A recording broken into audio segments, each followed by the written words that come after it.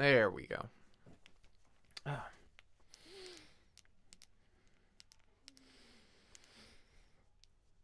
You never realize how dirty your glasses are until you have a really bright light shine directly in your face, and then all of the little particles of dust pop up. Okay.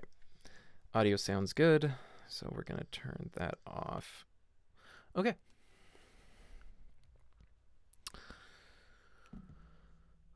All right. I don't know how many people are going to be in here to view, but this is pretty much just going to be me talking to camera. I did a little bit of um a little bit of editing and stuff on the desktop last time, but this time it's just going to be me and you guys one on one here. So, um I don't know if anybody's in, but anybody who's watching, if you have any questions, feel free to drop them into chat and I will address them at the end of the sections so that I can keep things more or less organized. And at the very end, I'll do some Q&A if there's anybody in who has any further questions. So, let's begin. Let me turn on my headings. All right. Part 1. What do you want to record? Because when it comes to equipment, different equipment is good for different purposes. So, if you want to starting at the lowest tier, just do teleconferencing or gaming, you know, just talk to your friends while you're gaming or talk to people over Skype, Discord, any other kind of VoIP service. It's a really low standard. Like you just have to be intelligible. They have to be able to understand what you're saying. Doesn't necessarily have to sound good, just doesn't have to sound so bad they can't understand you. So, you know, most VoIP and phone systems are going to crush down the audio so bad that no matter how good it is, it's still going to sound not great. So just get a comfortable headset or a USB mic that is easy enough to use. Um, make sure it's close enough that it can hear your voice before the reflections around the room get into the mic. So they're still going to get in there if you're recording without any treatment or anything. But as long as your voice gets in there first, they'll at least be able to understand you. Moving on, YouTube, Twitch, any kind of video thing like this where you want to stream or you want to do YouTube or whatever, it's a middling standard. People expect a little more, and in reality, the audio is a lot more important than the video because they're going to be watching it on a phone that has a tiny little screen with headphones, which sound a lot better than the speakers. So, audio is a lot more important than the video. As long as you sound good, you can go a lot further than if you look great but don't sound great. So, some treatment would be useful, you know, a little bit of things here and there to block out some of the reflections. But honestly, people kind of like a more organic sound. They don't like it to sound too processed and stuff because they want it to sound more casual. So keep it relaxed, you know, make it so that it sounds like a real place, but not like it sounds bad necessarily. As long as you're intelligible, you should be fine. Uh, you know, as long as you have light treatment and a good mic, it'll go a long way. And I'll get into treatment and mics and everything later. This is just explaining what you should look for in your specific purpose. The main focus is going to be on voiceover because it's the highest standard, and if you want to go that far, then you can, and it won't be a problem. You know, it's just going to cost more and it'll sound good, but uh, you might not necessarily have to, especially if it's not something you're expecting to pay back dividends because it's not necessarily a business. Next podcast. This says middle to high standard. You can get away with worse audio. It doesn't have to be professional because some people, again, are okay with a casual sound. But the worse your sound is, the less likely people are willing to tolerate it. So, unless your content is great, you want to have at least decent sound. In, if your content is amazing, people will tolerate kind of crappy sound. Look at the Mega 64 podcast a while ago. You know, they sound better now, but in the past they've had like really bad stuff because it's a video podcast, so they expect you to watch that and not listen to it. So their audio has improved, but it didn't matter because it was a really fun show. A lot of people were huge fans, so it was okay but keep that in mind. There's there's a balance there. Proper placement is a must, and this is with all audio. Really, even if you have no treatment, proper placement can help a great deal. And I'll go into more detail about what proper placement is later. But some solid treatment would also be great if you're doing a podcast. It's all audio, so you want it to sound its best, you know. And so go as high as you can, but don't worry too much, especially if it's not like a serious podcast. If it's something that's supposed to be a funny idea or something that you're just having with friends, you don't have to go too crazy. If it's supposed to be like an industry podcast, you're supposed to look like a professional. Having bad audio makes you look less credible, no matter how credible you might be. So, uh, at the same time, though, you can see stuff like uh, the Magic the Gathering Drive to Work cast, where one of the designers from Magic the Gathering just puts a mic on his dashboard and records himself talking as he drives to work. The content is really good, and it's from a person with a ton of expertise. So the fact that the audio isn't great because it's just on a car dashboard, at least in the early episodes, it's fine. It works out. Hmm. Vocals for music. So this totally depends on the genre. In fact, there's a whole genre now that's gained a ton of popularity, lo-fi, where having bad audio is actually kind of the idea, and a lot of it's roughing up the audio in post. So you can use whatever space and do whatever you like, really. Like, a big part of the expression is how you decide to work your vocals. You could even find places that have really interesting reverb. Sometimes you want dry recordings and you add artificial reverb. Sometimes you want natural reverb that you can't really deal with later music is different. You know, it's it's very textural. It has a lot more room to wiggle around. Again, as long as they can understand you and it sounds good, it can work. Like this is a much more um non-standardized thing with the vocals for music. Like obviously pop music and stuff, but then you can look at Billie Eilish won a ton of Grammys and she just had a crappy little like $100 mic and like Logic Pro and those songs are great and they won a lot of awards. So you can get by with cheaper stuff if you know what you're doing. Filmmaking. Again, similar to music, this one is dependent on what your artistic direction is. Do you want it to be something that sounds more natural, like you're in the room, or more polished, like something you'd see on TV? So it really depends how high you want to do it. At the very least, you want to at least sound like you're people in a room not people talking to a camera exactly and there's a lot more to say on that i'm not going to get into that so much um, recording for film is definitely very different from recording for voiceover but when you're doing adr when you have to re-record stuff later that might have gotten garbled or you decide to rewrite later you kind of want to go to vo standards for that because you're just going to be in a booth doing stuff and then just kind of mimic whatever environment you were in when you recorded it in post and in placement and stuff. So there's a lot to be said there too. Voiceover. Voiceover is going to be the main focus, as I said, and it is a high standard. It's a very high standard.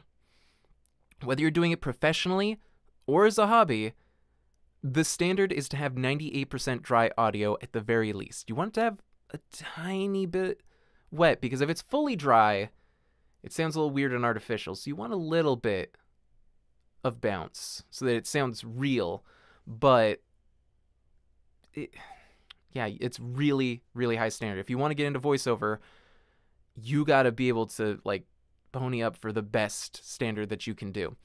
So just be sure that you're not selling yourself short on your audio because no matter how good you are, if your audio isn't up to standard, you're getting passed over for someone whose audio is. If someone has good audio and they're good enough performer, they're going to prefer that to someone who has terrible audio and is a great performer because the good audio is going to be less work for them in the long run and it's going to sound better for their product. So you want to make sure that you get the best audio that you can and you want it to sound as little like it's in a room as possible. You want it to sound like you're in kind of a void, basically, like no reverb, no nothing, just you, your voice existing outside of yourself, if that makes sense. It's kind of confusing. The standards are very high, is my point. Also, sidebar if you are doing it as a hobby, the idea of a hobby is that you enjoy the activity, and part of an activity, really any activity that you're doing on your own, is learning to do it. So, why is there so much apprehension towards just studying? Like, looking stuff up, doing research. I see a lot of people who don't want to do research because they're like, oh, I'm just doing it as a hobby. It's like, well, don't you want to do it right then? Like, that's, in my experience, if you're doing a hobby, you do it to do it well, or at least to like learn as much as you can about it and like enjoy it that way. So, I don't. I don't really get the, the, the mindset of not wanting to study up on something at, at the start for sure and throughout like confuses me but i digress. That's a sidebar.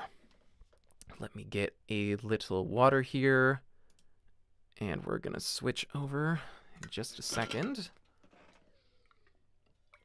No questions in the chat yet. If there's not a lot of views on this whatever. I'm gonna post it up on youtube later. It'll be on demand anybody who isn't watching it it's their loss I'm making good content here and y'all are not doing it. Um let me just double check. Uh what can I say?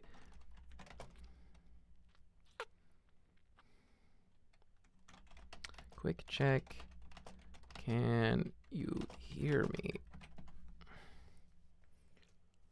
me? okay check that out. And then we're going to move on to the next part, the equipment hierarchy. So, excuse me, I typed that out. Oh, I guess that's a global command, huh? Okay. excuse me. So, the equipment hierarchy. There are three major considerations when it comes to recording audio. In fact, just a moment, I'm going to Make this a little easier for me to read. Okay. Okay, there are three major considerations when it comes to recording audio. Your environment, that's the space around you that you're recording in, and the fact that you have to record here on Earth, not in some vacuum out in space. So there are considerations for how the sound is going to react. Your interface, which is to say the thing that connects your microphone to your um hmm the thing I put in the chat is not showing up. That's odd. I am going to remove the chat for now because it's doing some strange things. I'm not sure what's up with that. Actually, let me check on my phone. Dashboard.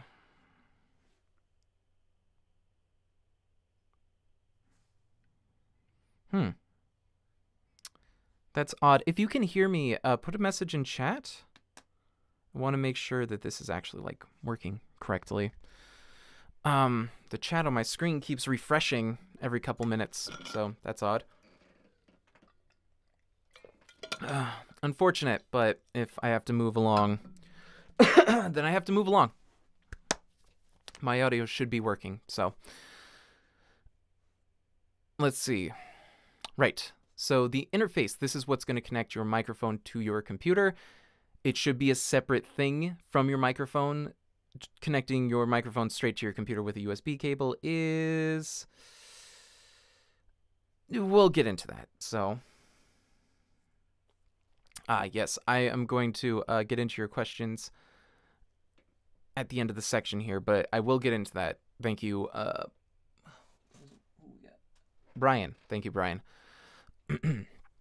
okay, so your mic, and it goes in that order. Your environment is going to be a huge determiner in the quality of your audio. Your interface is going to be a smaller but still very substantial part of your audio. And your mic is pretty minor actually like determiner of your audio quality. We I will get into the fact that there is still a bar to it, but you can do pretty well with a decent mic and great on the others, but we'll get into that quite a bit here. the thing to keep in mind with audio quality is it's not just like a direct spectrum from good to bad. Think of it like soil quality.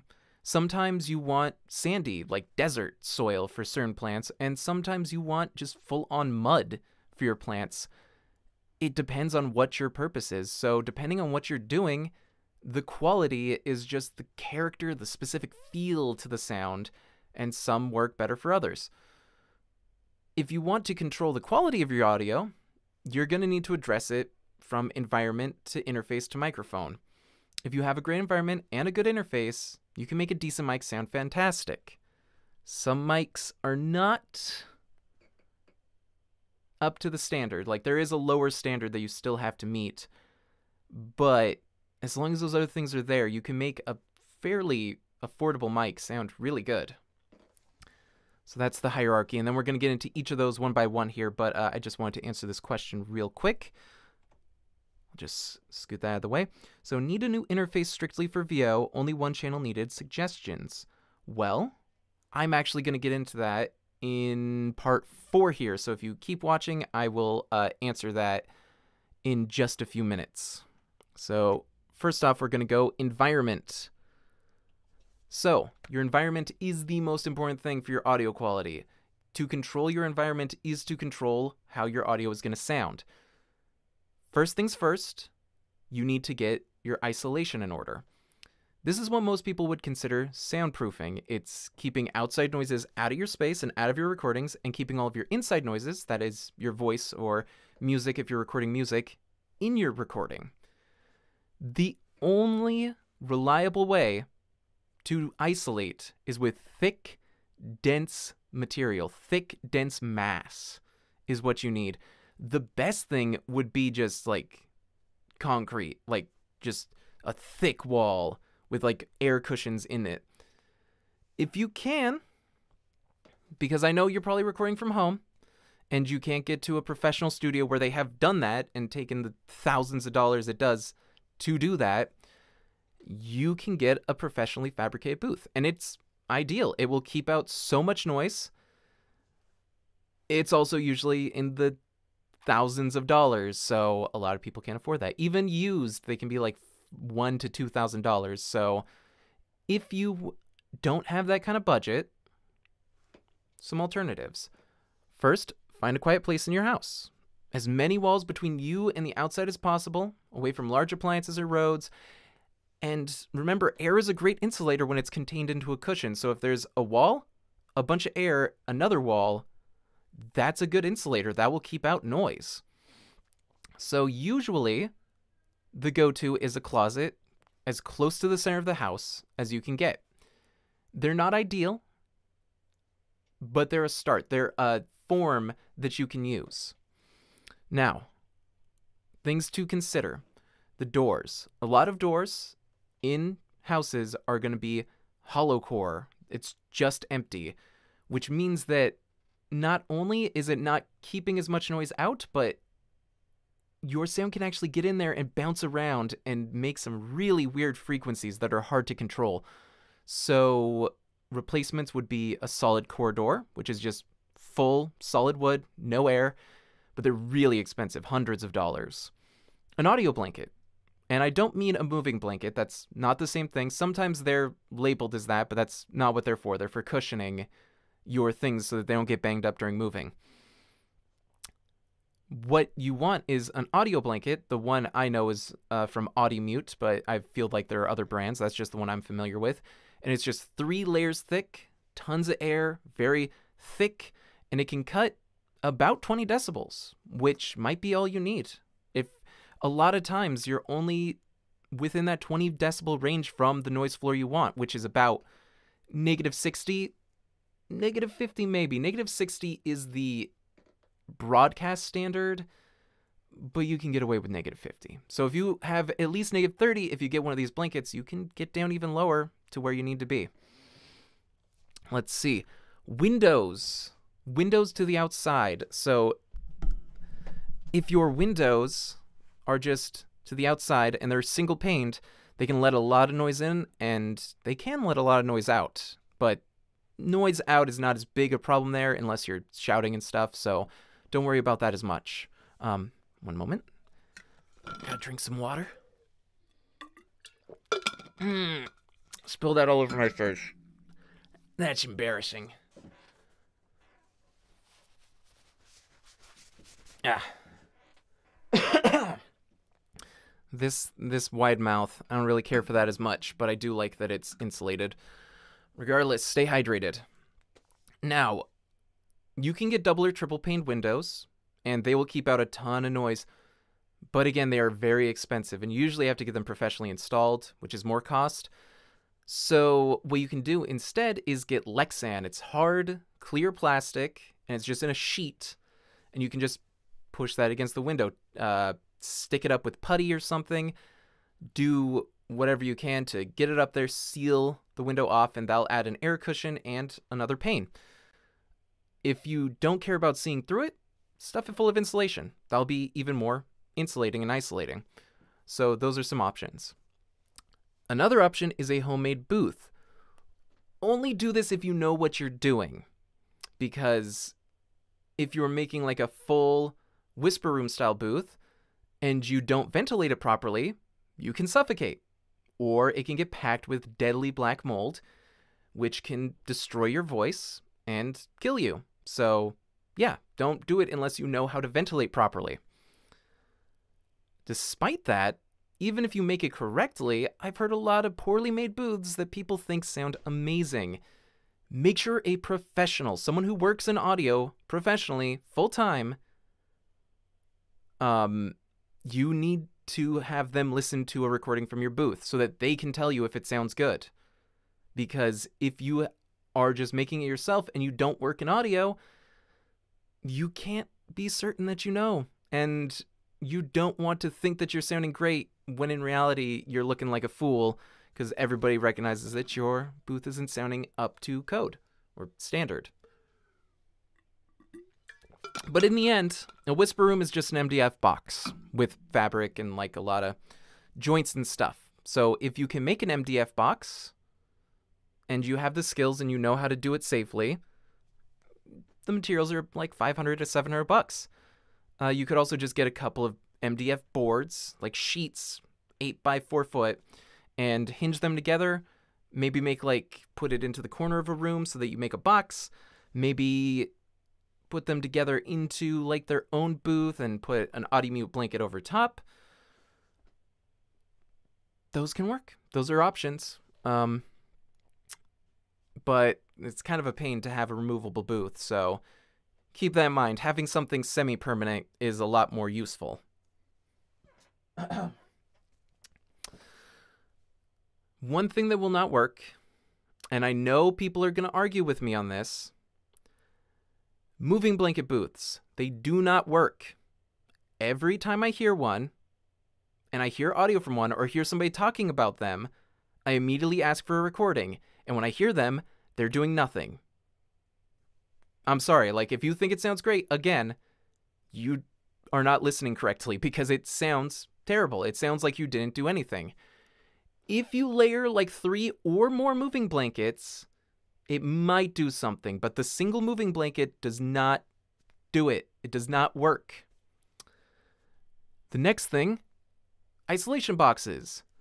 That is a lie. I don't know where they got that name but they do not isolate. They don't keep any sound out, they don't keep any sound in. They don't even treat very well. Like the idea is that it's just a box that has foam in it, but your microphone is not making the noise. You are. So it has to treat you and the space around you, not the space in your mic, because once it gets into the mic, it's already bounced around all the walls.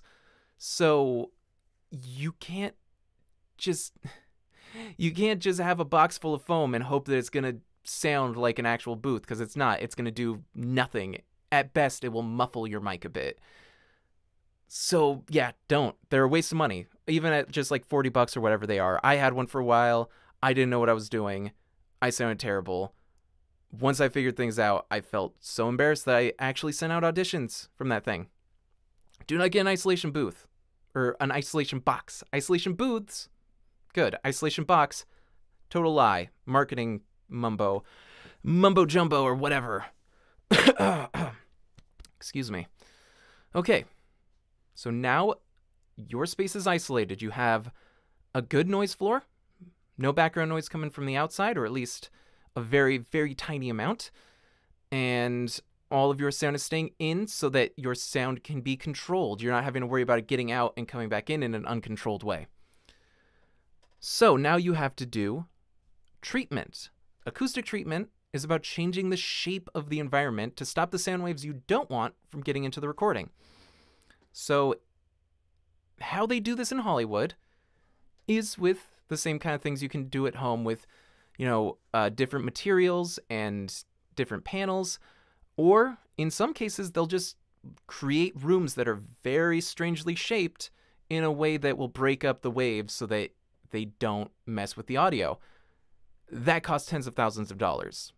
The rooms you have to work with are rectangular prisms of varying sizes. If you're lucky, you might get a weirdly shaped room. I'm lucky enough this door back here is at a 45 degree angle, but that doesn't mean that much. So it helps a little bit, but not nearly enough for what for doing voiceover in this room, which is why I don't do voiceover in this room. I do it in the booth back here. I just do streams and YouTube from here. So, uh yes, I'm going to actually mention the Audient ID, well the ID 14, but not the but I will uh, do that in the next section here. But it is a good choice. That is a good example. So, what you can do is to change the shape of your room. You can add to your hard, flat walls. The most common waves you're going to get are standing waves, which just reflect back and forth from different parallel hard surfaces. Your voice hits one wall, bounces to the other one, and creates a really bad standing wave that sounds really muddy and weird. You don't want it. To stop that, you'll want to put some baffling between the surfaces to cushion it on one or both ends.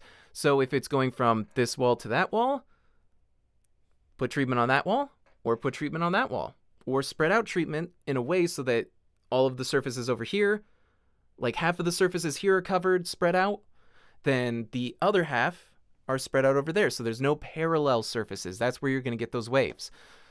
Um, also, this wall, that wall, ceiling to floor, basically those three dimensions, as long as you put some baffling on either end, or both if you can, that would be ideal, you can get better audio, stuff that doesn't sound so muddy and reverberant. So, things that will work to do that.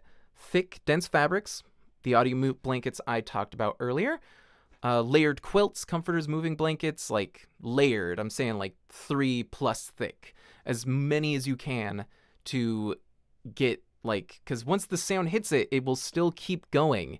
The idea is that it will be slowed, so when it hits the wall behind it and comes back, it's slowed again, so that it won't be able to get back to your sound. But you got to make sure there's a good amount to be able to do something about it. Pillows and cushions are pretty good, especially in like corners and things. They can be used as bass traps or just specifically corner baffles.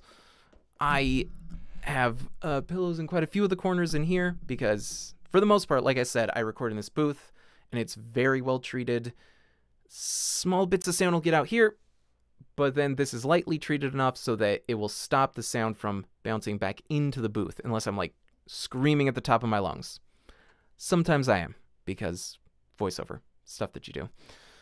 Um, another thing would be fiberglass or mineral mineral wool, also called Roxul or rock wool.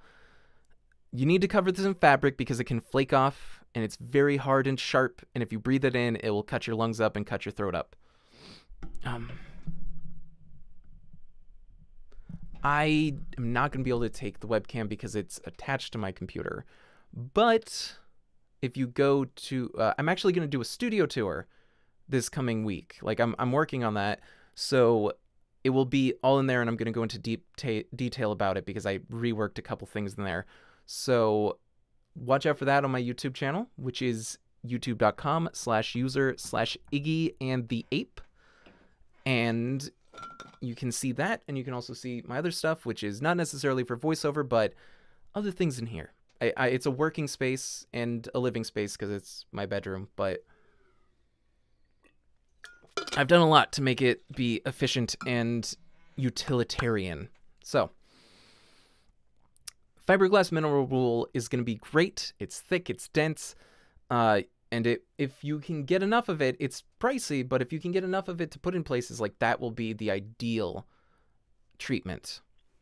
Another thing you can do, because again, this is about fixing up the shape, is textured uneven surfaces because it's only going to bounce off of hard, smooth walls. If you break up the shape of the wall, the sound waves are going to break up and scatter so that they're not going to have that really clear reverberant sound. It still might have some reverb if you do this, but it will at least go some way to doing it. So, bookshelves with like a lot of uneven books all over them uh, various furniture that's not lined up neatly or anything can help. Uh, things like that. Sound panels, you can get prefabricated, which are pricey but worth it. And again, same sort of thing. Those ones you'd want to just spread out evenly and make sure that they're just blocking the parallel surfaces and things. You can also get ones that hang off the ceiling and stuff, which are very useful because um, that creates a little air cushion. You can make them by hand, but again, make sure a pro listens to your handmade ones to make sure they're actually working. The really cheap method that some people do, and this is good if you're in a pinch. One moment. Excuse me, I've been really dried out lately. I, I don't know what's up. I drink a lot of water. Might be washed out on my electrolytes. But uh, a blanket over yourself technically works. However, it's a huge pain it's really uncomfortable for long periods of time, really limits your posture and placement, and placement can go a long way to making your audio sound good, so you might not even necessarily need the blanket. Um, and it can rub against the mic, and that makes this kind of sound. You don't want that. That sounds bad. So you probably don't want to record on a blanket for the most part. It only works if you're speaking very quietly directly into the microphone, maybe for a bit of narration or something like that. But for most of those things, you're going to be recording for quite a while, so you'll get very uncomfortable. And while this technically will work because it will be quiet enough to not break through the blanket, bounce back in, and everything, I wouldn't recommend it because it's very uncomfortable. And it doesn't always work. You have to have a really thick blanket. It's going to get hot too. So, a lot of things. Although, if you make your space correctly, it's going to get hot regardless because it's insulated now. So it's going to hold in a lot of heat. If your booth is not getting warm, might be a sign that it's not actually working effectively. So keep that in mind. Things that won't work. Audio foam. Most audio foam is too thin and your voice will just break through it. And sidebar a big pet peeve is when I'm watching a YouTube video, I see this with Markiplier specifically. He is the one that I'm always thinking of. You can see behind them, they have one cluster like they show on the Amazon page of just like 12 panels in just one spot on the wall, and that's it. They're not doing anything. They're blocking like a tiny bit of the reverb, but nothing else. You have to spread them out or have more. Like I don't I don't know why they think that that's doing anything. Like you put it up and listen, D- does it sound different? It doesn't. But they don't notice cuz they aren't actually paying attention to the audio. It's frustrating. You can use audio foam again if you're doing quieter stuff like narration, but if you're doing character work, it's not going to work too great. And if you're doing even high energy narration where you're talking about something like for kids, that's not going to work because it's going to bust through that foam and do very little, especially if you're doing instruments. Not very useful. Um, oh yeah, I'll say quickly. Uh, the egg crate thing as well. That's a music thing. That is not a that is not a voiceover thing. It can work in shaping the reverb, but it does not kill reverb. So keep that in mind. The egg crate thing does not work. Um, for for professional voiceover, or really most hobby voiceover, because so many hobbyists already have great audio. So if you don't, you're not going to be able to get many roles or anything. So keep that in mind. Um, isolation box, already talked about that. It doesn't contain the sound since it's coming from outside the space. You're talking here, the box is there. your voice is bouncing all around and then going into the box, so it's not doing anything. It's not. Porta booth, little better, but you have to stick your head way into it. And I know you can. They're like big enough that you can like stick your whole face in it. Uh,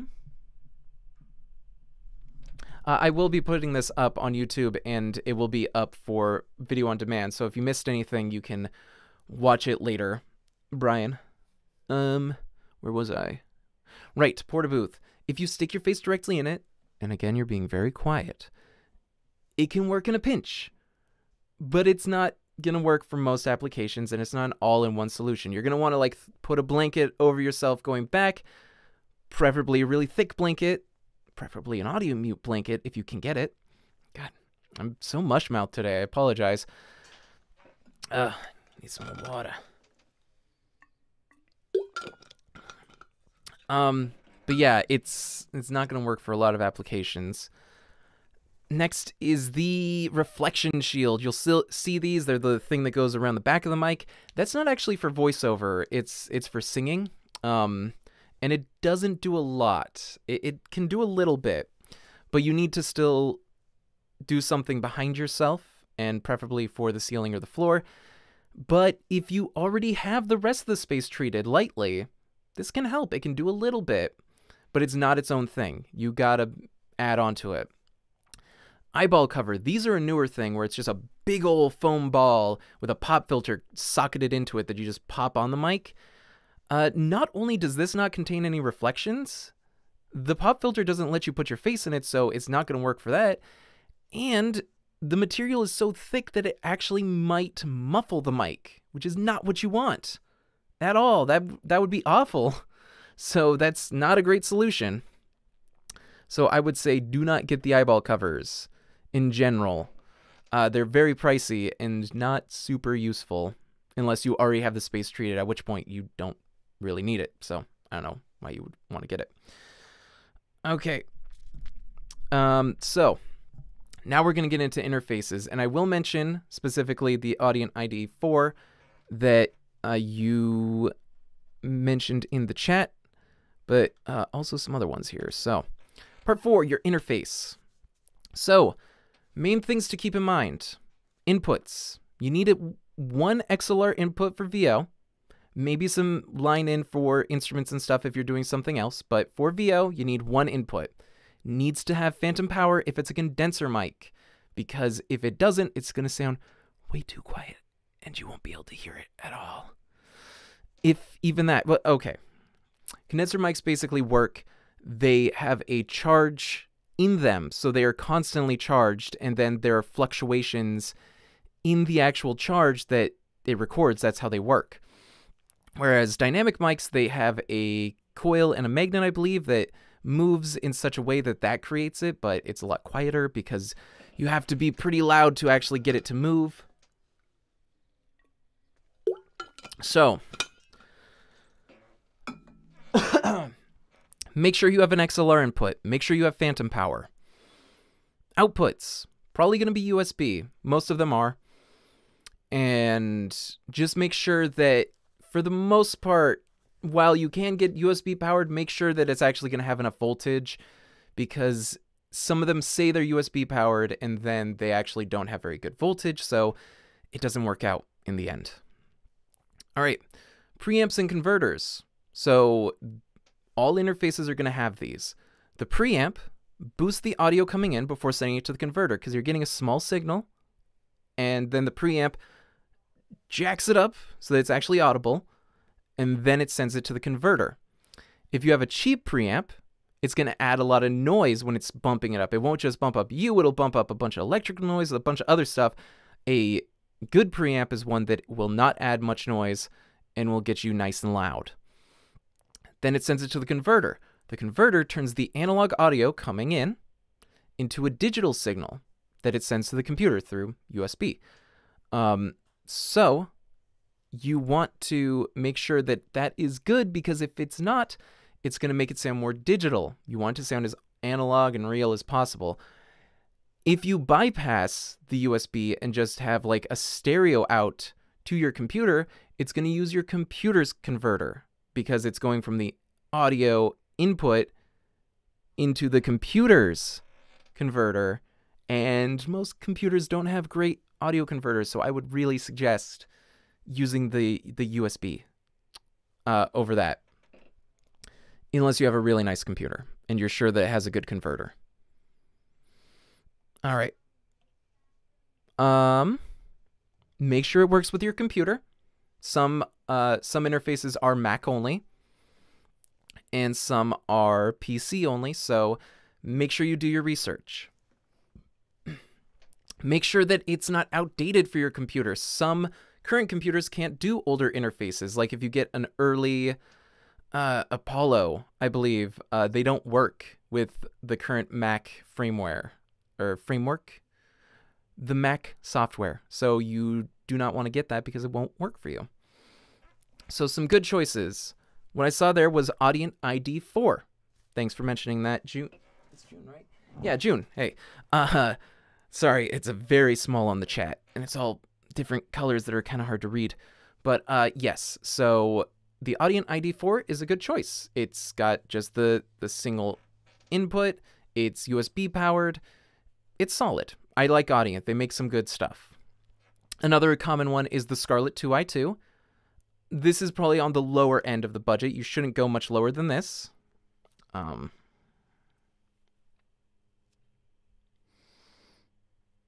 mm-hmm. Yep. Yeah, the the the adapters. I have the the current MacBook that just has four four uh USB-C ports, so I have so many dongles and things that I have to plug everything into because I don't have any standard ports. So it's I, I know all about the, the converters and the adapters and stuff. But uh Scarlett 2i2 works. I'd say it's it's definitely the the lowest you should go with your budget. It's a little over 100 bucks. If you, most interfaces that are under 100 bucks new are not going to cut it. it. Eh, maybe someday in the future, but right now that's pretty much the low bar. It's you should be spending at least 100 bucks on on an interface if you're getting it new. PreSonus Studio, I see this one used pretty often and it works as well. It works quite well. Uh, what I use, the Audient ID 14, it's great. It has a couple of XLR inputs that are also uh, line inputs and stuff. It's actually like powered with its own uh, dedicated power. I like it a great deal. It sounds very good, has great converters and preamps. It's a little pricier.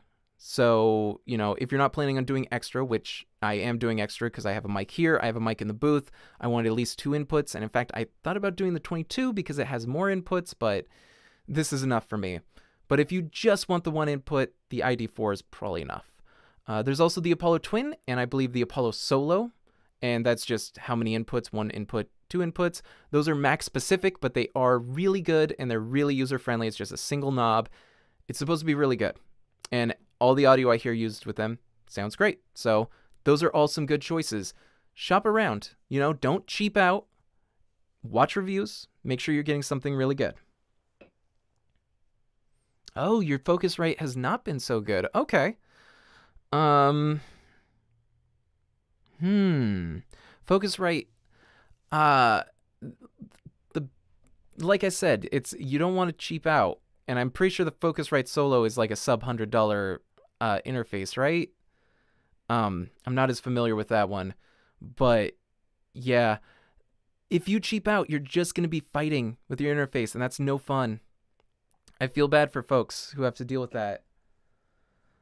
Um, because it's just it's it's frustrating. I did that for years. I kept buying cheap interfaces, and I never understood. I I had good mics. Why isn't it sounding good? It was the interface. It was bottlenecking my quality and making my audio sound terrible. So don't cheap out and don't screw yourself over with a cheap interface. a quick aside about USB mics they don't need an interface, they just plug straight into the computer. That's because the interface is built in. The preamp and the converter are in the microphone and they go to the USB out and it uh, technically makes sound. This is why they usually sound bad, because if you're spending a hundred bucks, if you're spending a hundred bucks on a mic and an interface, compressed down to fit into the mic. Like a small interface could probably work, but not if it's part of a mic that's already a budget. So the quality is going to suffer. There are some USB mics that are okay, and I'll get into that, but they're usually at a price point where it's like you may as well have just gotten a decent XLR and a decent interface instead. That being said, I'm going to take a quick break before I get into the mic section here, so I will be right back. Let me, uh, AFK. Ah. There we go. And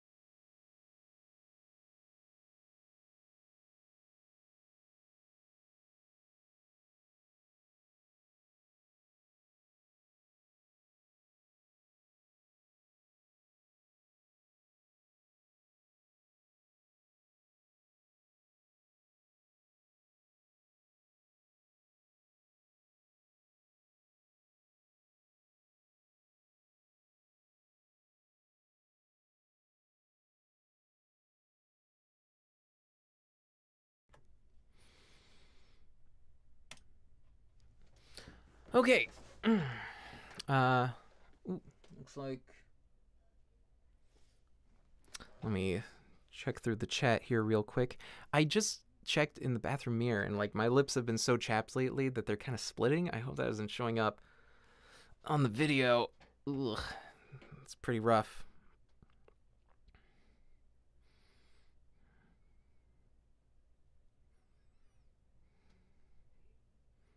Mm. Yeah, any mic that comes in a, or rather not a mic, uh, any interface that comes in a package, they're they're skimping somewhere. Usually, you can find like this something good with a bunch of cheap stuff added on to add value, but uh, yeah, doesn't end up sounding great.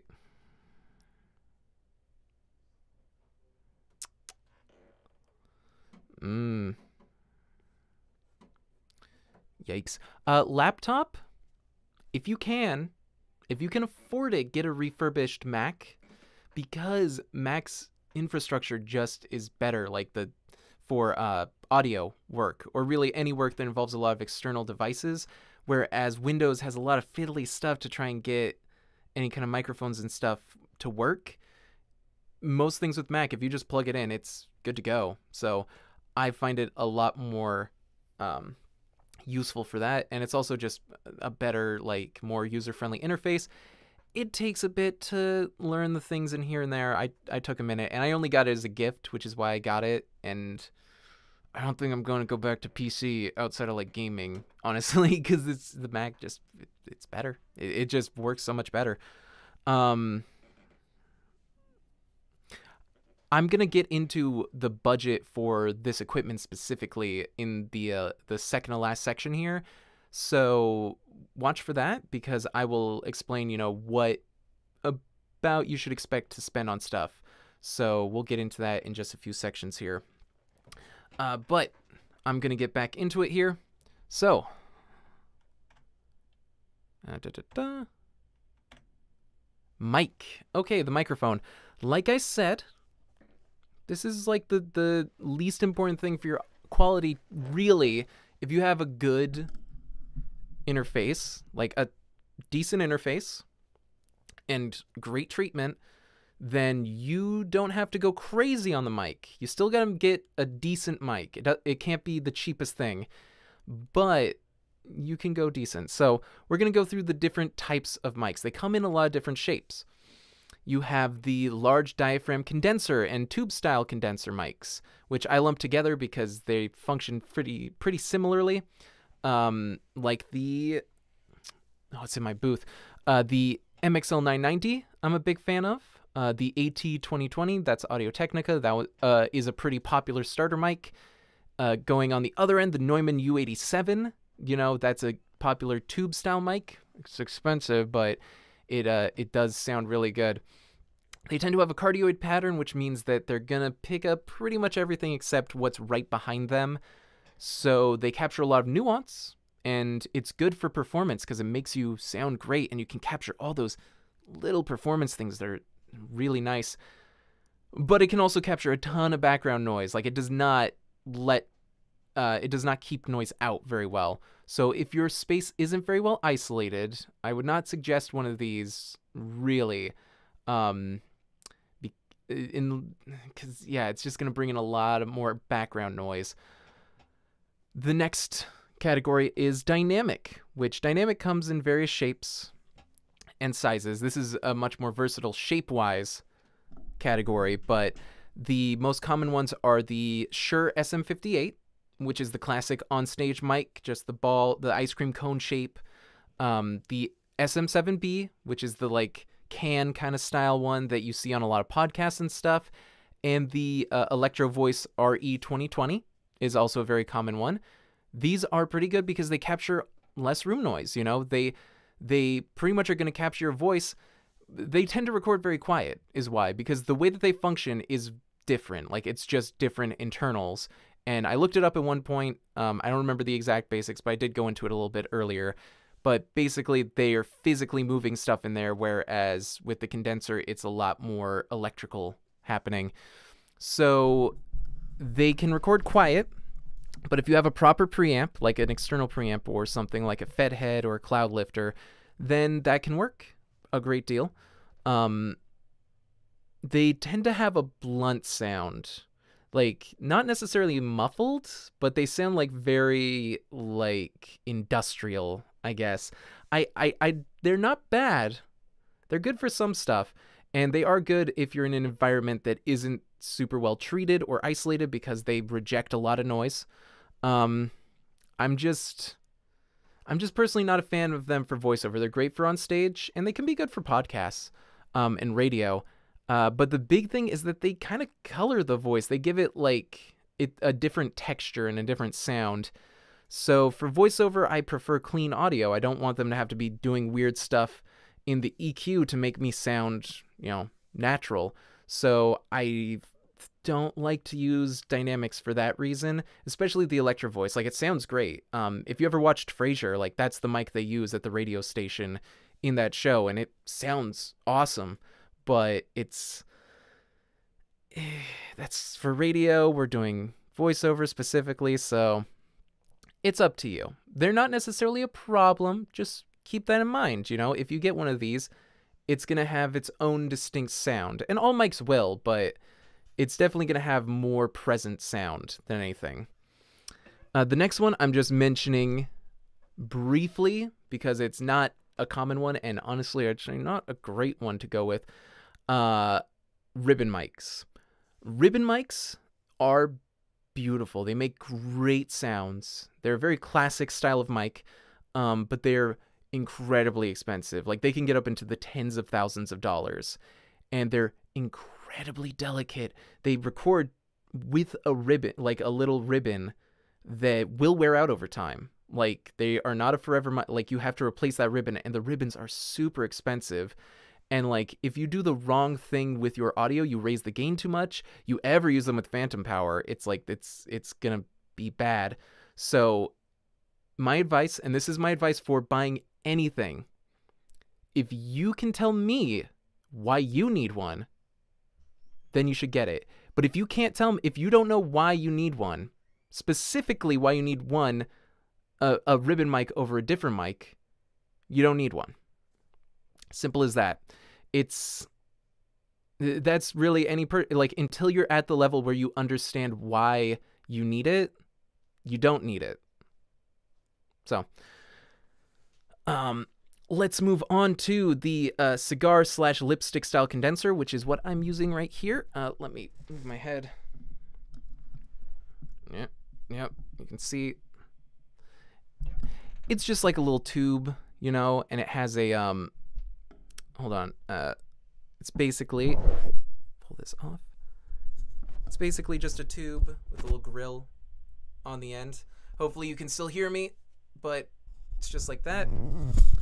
And um, technically I don't need the puffball because I don't get too many plosives with my placement like this, but uh, I like to have it for safety. Yeah.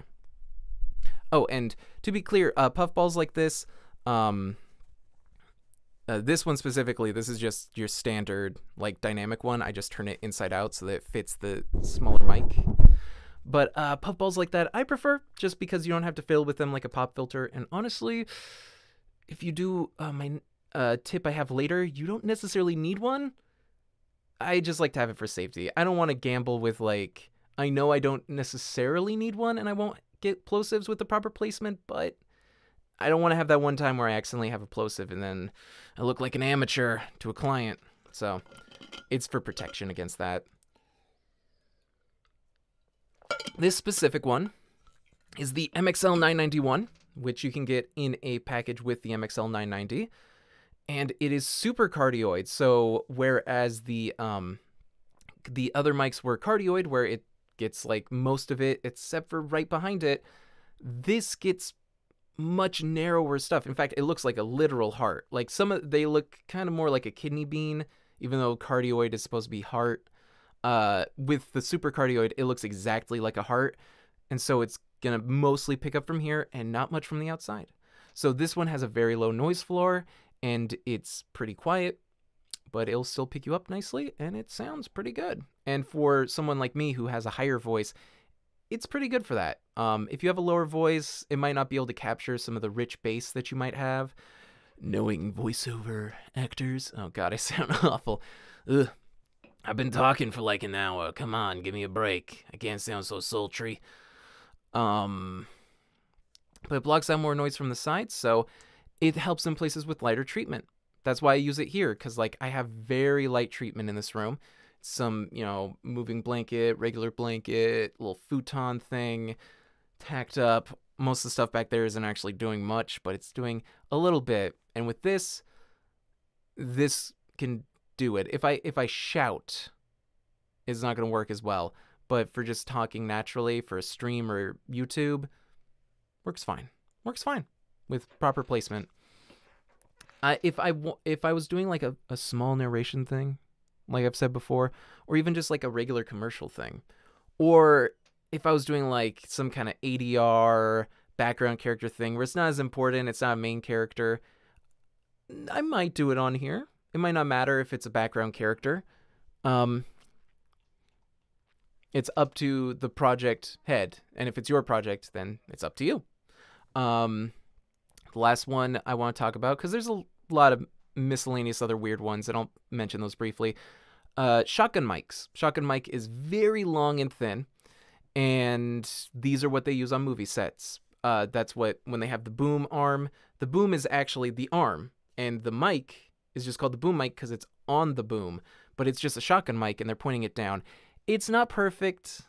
You know, it doesn't actually like work perfectly all the time. It's not a laser beam of sensitivity, but it will work very well and it will block out a ton of the noise. It's hypercardioid, so it's very narrow. So if you go off to either side even a little bit, it's gonna knock out a lot of that.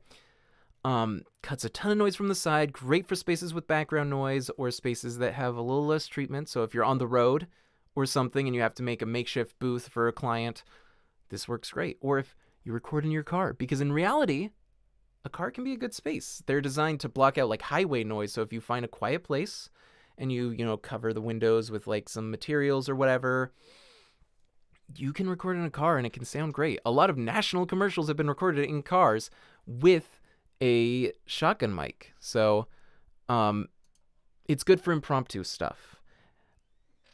Some drawbacks would be it can make you sound really bassy which, depending on your voice, could sound great, could be kind of muddy, and you might not want that. And so, if you if you're a normal distance away, it yeah, I don't know. It, the sound depends on your voice and everything. That's all of these, which I'll get into in a minute. But it's like your people's voices are unique, mics are unique, so it depends on you. I personally have not been using a shotgun mic, but I'm looking into getting one. Uh, some of the ones to get would be the Sennheiser MKH216, or wait, is it the Shure MKH216?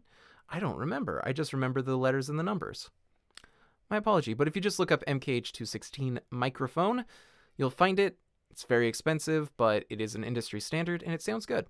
Uh, the alternative, which is a newer thing, is the Synco Mic D2, which, according to some reviews I've seen, is indistinguishable.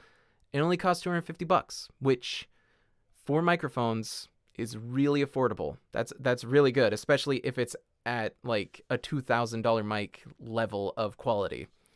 So, that's something to keep in mind. Now, there are other miscellaneous non-recording mics. You can use these for other stuff, but I'm just going to briefly talk about them since I'm talking about microphones. Teleconference mics, like the uh, Samson Go mic I have here, which is mostly for teleconferencing, sometimes for other things. Oh, there's a Synco D1 now. Hmm. I might look into that. It's a good question. Um, 416. Did I not say 416? 216. My bad. Yes, it is the MKH 416. I don't have one, so I don't remember, but people mention it quite often. Uh, thank you for catching that. But yeah, you have teleconference mics like this. It's itty bitty. You know, it's got two sides. You can switch it to like uh, omnidirectional, so it'll record all the way around. It's got like a little clip to clip it onto your laptop or your desk, and it's flippy and, and it's got USB. It's fine. I, I don't use it for recording voiceover, but it's it's good for teleconferencing if you cannot get your better mics to connect to certain programs, which happens every now and then to me, so I have to use that. Um, or just for YouTube and stuff, I guess. Or if you just want to like impromptu record like a conversation for a podcast or something, just plop it on a table. It's not going to sound great, but it works. You can find a lot of teleconferencing mics that do stuff like that. That would probably be the one I'd suggest. It's like 40 bucks. Sounds fine. It's pretty well suited for that. Um, headsets. I would not record with these. Um, which I'll get into why later, but for the most part, most of the money is going towards the headphones. So the mic is definitely an afterthought with headsets. And then lapel mics, which are the little like mic that you clip to your shirt or whatever, or get taped to you. Um, that's for like TV and stuff. And it's good for YouTube so that you don't have to have a mic in your face. You can just have that on and it can sound fine. Uh, those have a whole other thing going for them and so many accessories and things. So you can you can look at that yourself. I, I I'll just mention that they exist. So, moving on, I'm gonna get a sip of water real quick.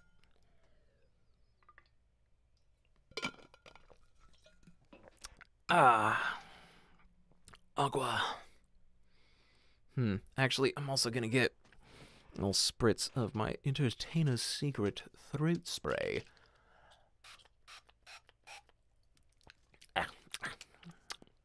I apologize.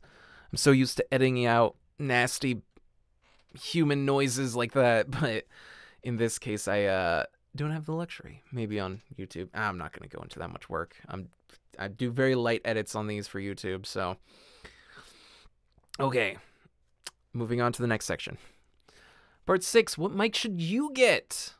And like I said, it depends on your voice. No one mic sounds great with everybody. You just got to experiment cuz like your voice could sound great with a, a, cheaper mic and terrible with a really expensive mic, who knows. Um one thing you can watch reviews, but so many reviews are just dudes with the deep, fun voice like that. So their reviews might not work for you. Like me personally, I don't have that deep voice. I can get kind of deep, but it's like, for the most part, I'm going to sound kind of teenage. So, excuse me. For the most part, I'm going to sound pretty high pitched teenage. So, those mics won't work for me. I've had to experiment. So, just you know, abuse the return policy. Go to like Guitar Center or a local store or online if you can. It's, it's just gonna be easier to return it if it's in person. Um, and just get mics, take them home, try them out. Don't try them out in the store because you need to know what they sound like in your space that you've hopefully isolated and treated very well so that it sounds good. Um, and then also like different mics will work differently with different interfaces, so keep that in mind too. So you just have to experiment. There's no one answer. I can say though, you do want to experiment, but here's some ones that you can mark off the list right now. You do not need to get because they are terrible. The Neewer NW800. Do not get this. This microphone is $20 for a reason. It's on uh, Amazon. It's usually like blue and silver. It looks like a U87. It looks like the tube style, but it's a piece of garbage. It sounds terrible. It's just tinny. It's super noisy. It's super tubey. It just sounds really, really bad. Do not get it. Don't waste your money on this thing. Even 20 bucks, it's like you may as well just be burning a $20 bill because you're not going to be able to use this microphone. It's unusable. Blue brand USB mics. Do not use these. Some of their XLR mics are good. Once you get into the higher ranges, they have some good ones. Like the Blue Bottle Rocket is pretty nice, and uh, a few others. But the USB ones are overpriced for the quality of the components. Think about it. The Blue Yeti is a little over $100 and has three capsules. Why not just get a mic that has one good capsule instead of splitting the cost among three cheap capsules. It's awkward to use. It has a weird shape and a weird stand. Um, I know you can like adapt it for a mic stand, but like it, that's such a pain. Um, it has a ton of superfluous features you'll never need. Like you don't need omnidirectional, bidirectional, all of that. You just need cardioid for voiceover. And like most of that stuff, even if you want to do like podcasting and stuff, it's better to just get multiple mics so that you have separate tracks and stuff. So I don't know. Uh, the main thing is it makes you look like you did no research. Because if you did, you would have known not to get one. You would have known immediately that you shouldn't have got one because they're super overpriced and they're just not very good for the price. If you can get them used, maybe to play around with. I might get a used one someday if I can get one really cheap which is really easy because there's people getting them and then realizing it was a mistake and selling them. So the resale market for them is pretty good, pretty cheap. I would not spend more than like 40 bucks on like a Blue Yeti used, but I would not get one at all. I'd get one mainly just to do a breakdown of exactly why it's bad and then sell it off again, but I'm just going to say don't get one. It's a waste of time. The main thing that they're designed for is just to look like a mic icon. Like if you look at a mic icon on most software, they look like the Blue Yeti, and I feel like that's why they did that so that it could look like that. But that's that's it. it it's aesthetic, but it's it's trash. Bad mic. Bad mic.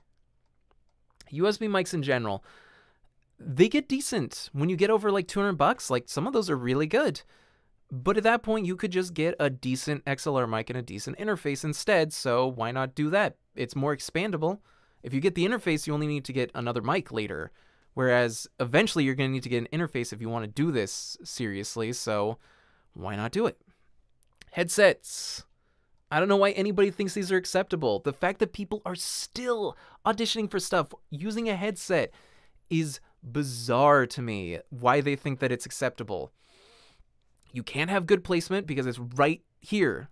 You can't you can move it up and down maybe a little bit, but it's like is right next to your face. It's terrible placement. Tons of plosives because again, it's right on your face. Um, maybe if it's one of the ones up here, but then it's like it's barely getting your voice. It's ah, got a terrible bass response. There's just no bass coming through. Just no. Awful. Awful. Sounds bad. All it's designed is so that people can hear you when you're gaming or teleconferencing. It's not designed for recording because it sounds bad when it's recording. No matter how expensive it is, all the money is going into having good audio to hear in the headphone portion, not good audio going out in the mic portion. No, just don't get a headset. Unless you just want a game, at which point, like, most of this is unimportant for you. All right. Number seven, how to use your equipment. So you've gotten decent equipment, you've experimented. First things first, read your manuals. Way too many people don't read the manual, which is. I, I don't get it. Like, if you're not excited to learn everything about the thing you just got, why'd you get the thing? Like, the most exciting thing to me when I get anything is to read the manual and learn everything that I can do now. That's so cool. So, like, reading the manuals helps a great deal. It teaches you a lot. Um, but after you read the manuals, once you have your isolation and treatment in place, sounds good. And you have your uh, quick thing to check if your isolation is good, just clap your hands and you can tell if it's reverberant. It's a little reverberant in here because it's not super well treated. It would be way worse if I didn't have any treatment set up, but thankfully I have a little bit to cut down. And then it would be even better in there. I've actually done videos where I have a comparison of that, so you can go to my YouTube and check those out. Um, but yeah, once you have your isolation treatment in place, you connect your mic to your interface, just XLR into one end of the mic, XLR into the audio in on the interface. Turn on phantom power if your mic needs it. Do not turn it on if you don't need it because you will blow your microphone. It will destroy the capsule, and in the case of ribbon microphone, the ribbon will literally explode. Like, it won't be necessarily dangerous, but it will be useless. So do not use phantom power if you don't need it. does not give any extra benefits. Um, it's just if you need it. So, excuse me. The next thing, make sure you're talking into the correct part of your mic. There's two types of microphones. There is end address, like this, where the capsule is at the end of the microphone, so it's pointing straight at my mouth right now. Side address, which is usually the condenser mics, it will be straight up and down.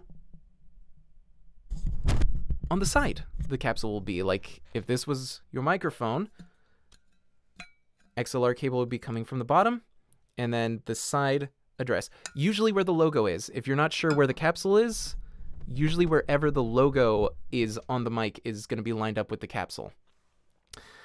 Um, if you speak into the wrong part, it's not going to hear you correctly, so you'll sound muffled and quiet.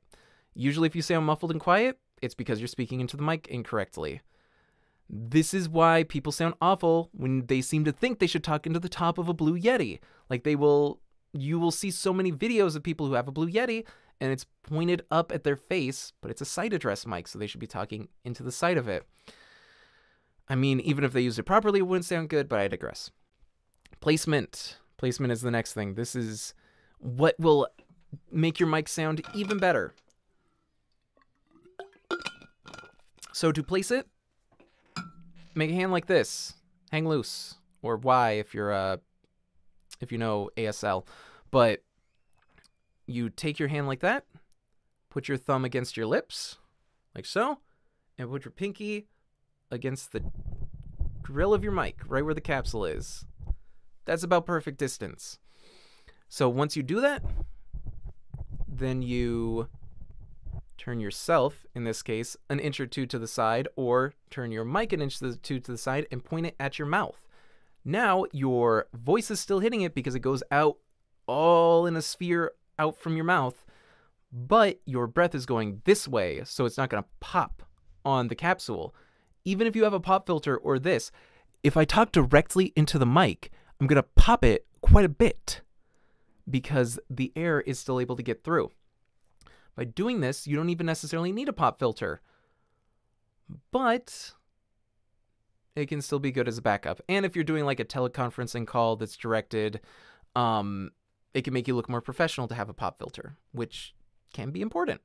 Looks are important in uh, in the entertainment industry. So, one thing, if you're in a less treated space, like I am, you can just use a fist about there. You can be a little closer because you want to get your voice into the mic before the reflections get in there. If you're using a more powerful mic like a shotgun or you're going to shout, use two hands. Go way back. And that will hopefully stop you from popping the mic too much. Uh, if you still do, you got to turn your gain down. But gain will be next. Um, num, num, num. Okay, so find the gain knob for your input on your interface. If you have multiple inputs, you got to figure out which one it is. Talk into your mic and turn the gain knob up until the loudest parts of your voice, the highest parts, are hitting between negative 20 and negative 10 decibels. I know that sounds quiet. Negative 3 is the industry standard. Negative 3 is the standard for finished audio. For recording, negative 20 to negative 10. That'll capture any nuance, and it will prevent you from clipping, and it'll keep your background noise down. So if you have high background noise, if you lower it down to this range, you have less background noise. So it's a lot better. And your engineer will thank you for the headspace. Because if it's already almost to the top, I can't do anything with that. It's too loud. Like, you're going to clip it, or even if you don't clip it, it's going to be that. You can always turn it up later in editing, and it does not do anything distracting or destructive to the audio to turn it up. So Negative 20 to negative 10. That's the region you want your peaks to be. Ah! I keep spilling my water on myself. I need to get a better water bottle. I don't like the straw ones, though. I don't know. they'll feel less hydrating or something. I can't describe it. Ah, but yes, that that is how you set up your microphone. So once you do that, you can watch my last uh, stream to see how to actually record in Audacity or whatever program, or you can just look up how to record in your software Audacity, Reaper, Pro Tools. There's hundreds, hundreds of tutorials, so you'll find one that can tailor to your specific situation. So, moving on. Part 8 How much should I budget? So, when you're first starting out, if you have no equipment no treatment, anything, an acceptable setup, mic interface treatment is going to cost about 300 to 500 bucks. If you want to do this professionally, that is a tiny investment. That's a tiny business investment, 300 to 500 bucks. If you don't want to do it professionally, save up. You know, don't waste your money on a bunch of cheap mics, spending $20 here, 50 bucks there, uh, hoping that you'll upgrade to a big one eventually. No, no, no. Just instead save that $70 and then wait until you have enough to get better equipment from the start. It'll take you a little longer to start up, but it'll be worth it in the end. Um, it's doing something weird to Sailor Moon's face. I. I got all these wet spots because I keep spilling my water on myself. Oh, I'm a mess. Okay, So, don't skimp on the treatment. Spend a majority of your, more than half, literally a majority of your budget on it. It will be worth it, trust me. Like, make your treatment the best you possibly can afford. And you don't even necessarily have to get materials. Like, there are ways to get decent treatment with just household items. You can use couch cushions, you can use just random bags and luggage, plush toys, just sacks of like packing peanuts. There are things you can do but just like don't skimp on the treatment. If you have great treatment, then you won't need to then it will save you money in the long run because you won't need to have as hardcore of other equipment because you'll sound good even on cheaper equipment. Get your interface and mic used. eBay has buyer protection and some great deals. Most mics can be like 60, 70% off used. And yeah, if they tell you that it, like, just if you're worried, ask the seller directly, does this work? If they say yes, and you get it and it does not, eBay will refund you. It is on them. Like, eBay is really good about that. So, might be a pain, but this is the best way to get decent equipment. I got my interface used. It was like 200 bucks instead of the like 600 it would be new. Um I got my mics new, but I mean, I would have only saved like 50 bucks on that for the most part. Um I'm waiting to find a deal on a, a CAD E100S, which is also a very good mic for starters. Um but you can find those like 2 to 300 bucks used. It's like 600 new, so used, used is fine.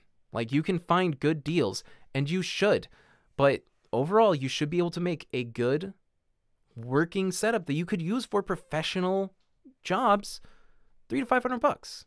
If you have more, spend more. Like it will be an investment in good audio. And if the better your audio is, the more, the less likely you are to not get jobs. It's not necessarily going to get you jobs just having good audio, but you will lose jobs if you have bad audio and you're trying to get them. So it's an investment and it's worth it. So, here we come finally to part nine, the conclusion. Remember, your audio has to go through your space and your interface before your mic. Don't bottle yourself, like, don't bottleneck yourself by skimping on either of those. A solid interface and great treatment will last you through tons of budget mics. You can spend uh, 50 bucks on a used mic, and if you spend a couple hundred bucks on good treatment, good interface, you can have great pro audio. Now, obviously, you'll have to upgrade your mic eventually, but if you have those other things, then you won't have to be upgrading them as well. If they are already at a good level, you can just get a better mic when you can afford one, and it'll do great for you. So just remember, it's an investment in your business and or your passion. Hopefully if it's your business, it's also your passion. Maybe it's just your passion and you don't want to do it as business. But you are investing in that. And if it's something you're passionate about, you should want to invest in that. Like you should take that just as seriously as if it's a job. We only have so many things we can do in this world, so if you're passionate about something, you should do it the best you can because we only have so much time to do the things we want to do. So that is the conclusion to my stream. So I'm probably not going to stay on too much longer, but I am reading the chat. So if anybody has any specific questions that I have not already answered, then feel free to put a question in the chat, and I'm going to read back through to see if there's any that I didn't answer specifically.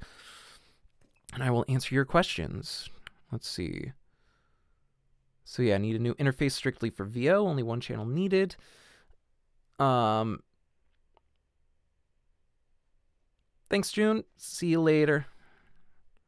Um, let's see. New interface strictly VO, only one channel needed yeah, the Audient ID4 is probably pretty good. Like, uh, again, if you get these things used, that's pretty good. Um, the Scarlett 2i2, you can get the smaller one, uh, depending on what kind of computer you have, whether it's Mac or PC. You could get the Apollo Solo, and you can find these for like a couple hundred, 300 bucks, which, again, it, in audio equipment terms, in audio equipment terms, that's cheap. That's like really affordable. Audio equipment is super expensive, super expensive. So to the th- under 500 bucks is basically budget. So definitely definitely don't skimp out on that if you can. Um in terms of laptop, I said earlier, Mac is really good for voiceover kind of work, audio work. So it might be good to get one of those if you can afford it. Um, The main thing is that you just have a decent processor. Like you don't have to go crazy for audio as long as you're not like totally skimping out on the computer. Uh, for the most part, your interface is your sound card. So as long as your interface is good and your computer isn't a complete pile of garbage, you can use it. Um, the cheapest thing for a computer is to build your own. It, it always has been. So if you want a good computer for cheap, learn how to make your own. It's not as daunting as it once was because like a lot of stuff just goes together like Lego. Honestly, at this point, like making your own computer, if you look up a tutorial, super easy, super safe. You're not super likely to like destroy anything if you're smart about it, and you can save a few hundred bucks, maybe even close to a thousand. But like you can get the best gaming PC there is if you build it yourself. About fifteen hundred dollars, which it'll last you a few years, like probably upwards of six years. Um, so it's definitely definitely worth it to do that. But again, audio you don't need to do too much.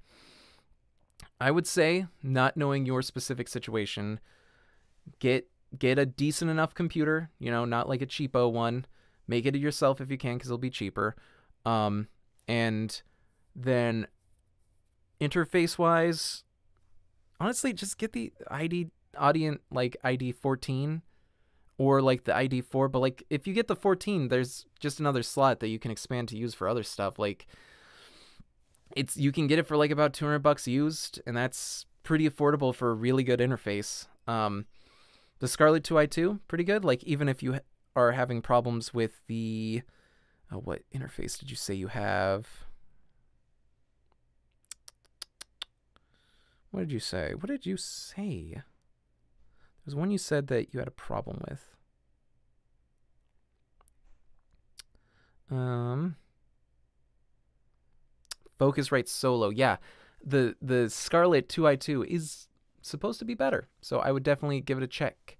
Um, you know, don't as I said, don't skimp out. Like as long as you are looking at reviews and stuff and double checking that it's not cheap if you can find actual recordings with the audio um hopefully with someone who sounds at least in your like vocal range like pitch wise you should be good like once you get above the standard it's mostly small adjustments that you get like there's a lower standard and stuff under that is going to be pretty much unusable but once you get over the like 150 $200 range for interfaces, they're going to be able to do fine.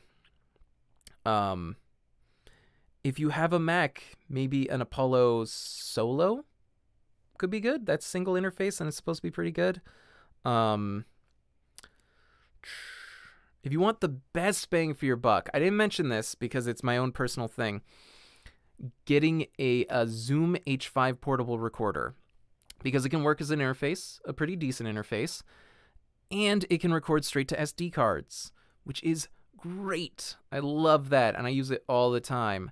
It has two interfaces, or uh, rather, it has two XLR inputs on the bottom. It has like another separate proprietary thing on top so that you can have like a built-in mic, um, and all sorts of accessories for that. So it's yeah, it's it's really cool. I've never regretted getting it. I use it all the time. It's like 250 bucks or something, but you're getting a, a recorder and you're getting a mic, which is not the best mic for voiceover, but you can use it in a pinch. If you have good if you again have good treatment, you could technically use that one for voiceover. Um and it's also an interface, a pretty decent, very portable interface. Uh so I I would honestly suggest getting that. And if you use that, you honestly don't even need to use your computer to record. You can just record to that and then just use the SD card. Um, just stick the SD card or just the USB over so it's an SD card reader and just get the files over to uh, edit them. And that is uh, something I do quite often in my YouTube videos. When I'm recording over there, that pink thing back there, if you ever watch my movie reviews on my YouTube channel, I'm just in front of that. That that's doing nothing for treatment, by the way. It's like paper thin, so it, it does nothing for treatment. It just looks cool as a backdrop. And uh, yeah, I'll just loop a mic from the portable recorder and then bring it over and do all that. So it's very useful for a lot of applications. Of course, I use a lot more than just voiceover. If you're doing just voiceover specifically, you can go less on that, but I you'll probably find a way to use it. If if you are passionate about audio, you'll probably find a use for it. So it's worth getting. So no new questions looks like. So thank you all for tuning in. Thank you to anybody who watches this after the fact. I uh I appreciate you tuning in. This is still a very very small channel, but I'm doing my best to build it up and make it good. Uh, I did figure out how to get my Elgato to work in OBS. By figure out, I mean it just works now. It, it it would crash before, and I couldn't get an explanation, and suddenly it just now it just works, and there's no explanation for that either. But whatever, I'm gonna be streaming a lot of Nintendo Switch games and a lot of other stuff, doing some fun voices, getting some friends in, probably do some silly stuff, you know. Um, so tune in for that. Thanks for watching, guys. Good night.